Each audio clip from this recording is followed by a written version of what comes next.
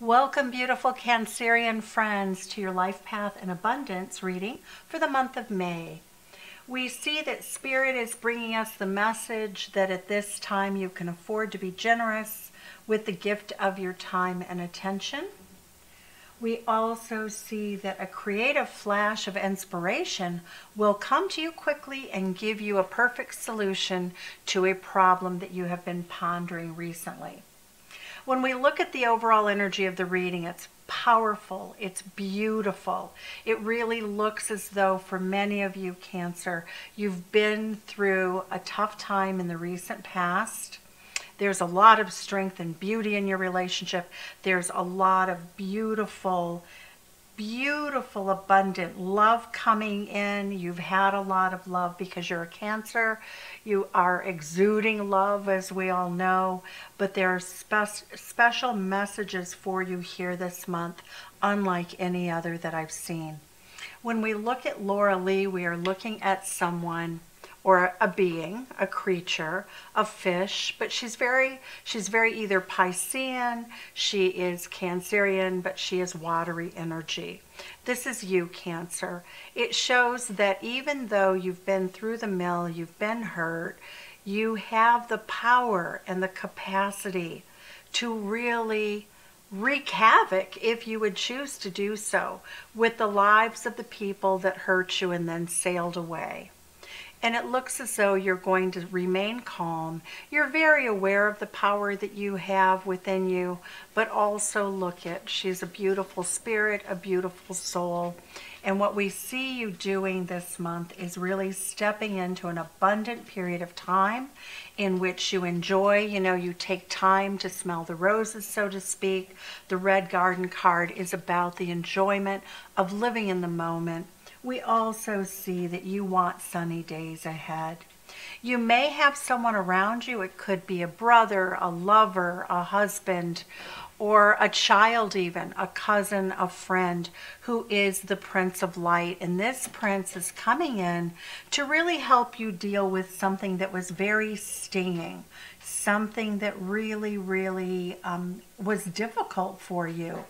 And we're seeing that, you know, you need to let the sun shine in. And hummingbird spirit is, you know, be there and here now.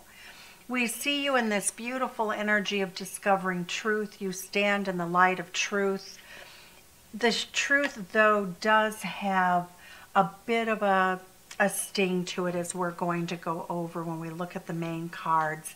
But your Prince of Light, that can be your inner light also, is really helping you pick your way through this period of time in your life when you're getting back to normal, you're coming into alignment with your abundance. Once again, Cancer. We look at your physical well being. I don't think you've ever looked more beautiful. You are, you know, very abundant. The Empress is always abundant. You are embodying the sign of Venus. We see that this is a prime time in your life if you don't have a partner to attract an incredibly good partner. The Empress is Taurus energy it is everything that we value. So somebody has, and I also think that there is somebody who's watching you, and I feel as though the, that person may be the Prince of Light, waiting to make a move, waiting to come towards you. When we look at your house of physicality, you look beautiful, as I said. And in partnership, the Four of Fire, for those of you who are not married, this energy says that on your life path, you will soon meet, probably within the next four months, your life partner, someone with whom you could marry if you choose to marry. In your money house and in your money area of your life, we see the strength card. We see that you've had trials and tribulations with money, but we also see that you've remained very strong in your ability to manage your money well. For those of you who have had losses in this area, we see that a partner or partner's money or the resources of another person that loves you have really come to help you. When we look at the third house of your everyday life, you are really yearning for something beyond yourself. You're tired of being here on the shore. You'd really like to set sail for new adventures You're very much invested in your current life, and it shows that you're doing very well with that. But when we look at your fourth house, when we look at your your home as you know it, it looks as though you spend too much time alone or you have some worries about home, even though we have in the 10th house a big advancement in career.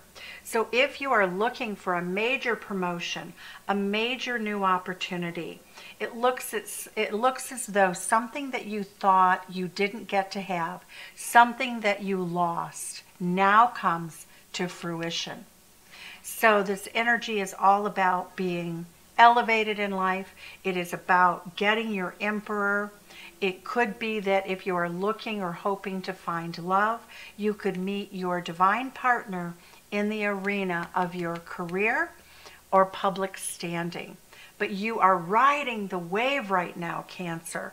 This energy is all about you taking the mantle of authority. It's you expanding to the highest levels of your career in the near future, if it hasn't happened already. It speaks to the abundance, the combination of yin and yang energy serving you beautifully. Whatever it is that you have, whatever it is in terms of your home life, perhaps family, perhaps a place that you live. You do have some remorse and regret about some choices that you've made. But what we're seeing here is that you will be able to let go of the burden. We see you able to walk away at this point in time. For many of you, you may have to move, you may feel forced to move, and you may not want to do that physically but it says that you are moving towards something that you invested in. This is really part of the process for you um, man, managing and maintaining and expanding your abundance. We see the messenger of water in your sixth house of your health, your well being. What we see is that you're very much in touch with your emotions. The work that you may do may be for some of you very nurturing or healing work of some sort. I feel as though for whom I'm reading, that some of you might be Reiki masters, you might be therapists, you might be hypnotists, you might be, you know, uh, supportive nursing like for moms or mothers. I'm also getting this energy for you that in your friends, you have dear friends. They're there for you night and day. There are many people, Cancer, that you could call in the middle of the night if you needed to.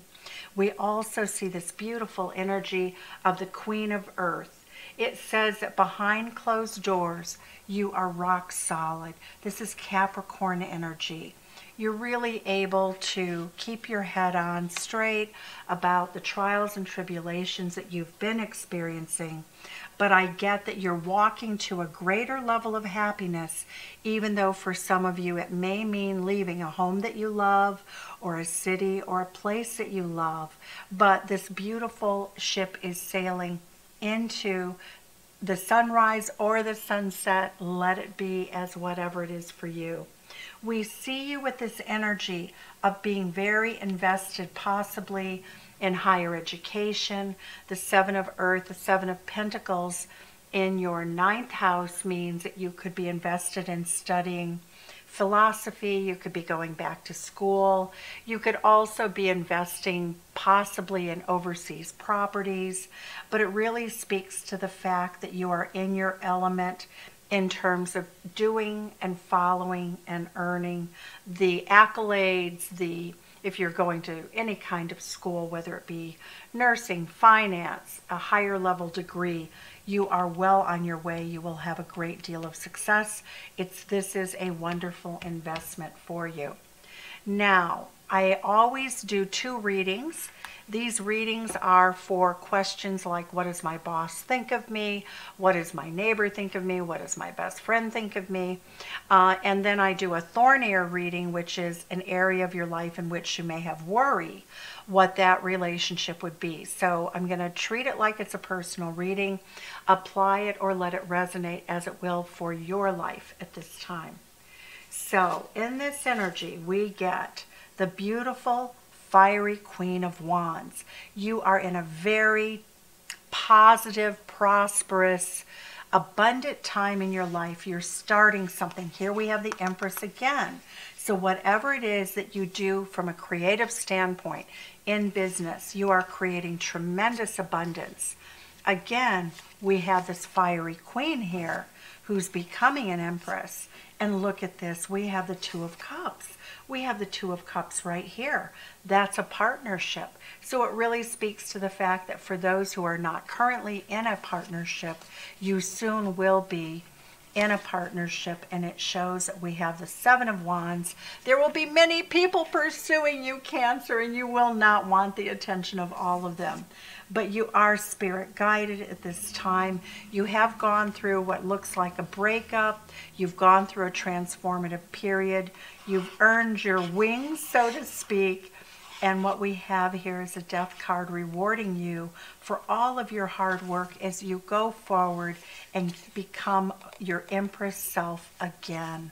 It shows that you have the power that if you are looking at a lover, will they want a committed relationship? The answer is yes.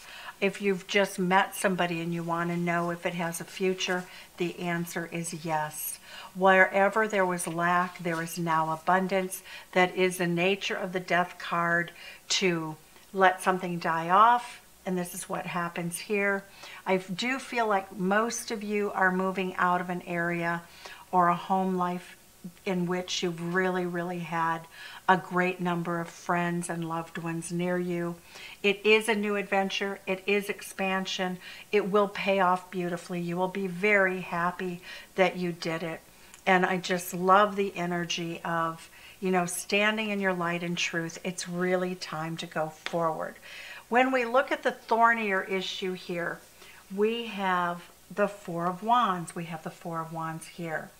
So what we're seeing is if you were married or if you are married, we're looking at this Ten of Pentacles, an abundant relationship in which there's a beautiful home, a beautiful life, and again, it's the Sacred Heart. It's a very deep love relationship. With the Four of Wands, we get, yes, you will marry again. If you're wondering that, if you will ever get to find love, the answer is absolutely yes. We have new love coming in or the beginning of new love. If you're already in a partnership, a whole rebirthing process, a time of absolute romance and depth and love. You have made a decision to have more freedom in relationship than you have in the past. It looks as though someone took something from you. It was a very difficult relationship. So, for many of you, somebody that you loved or that was close to you took advantage of you. You are at peace with it. If this was a love relationship, you are at peace with the issue.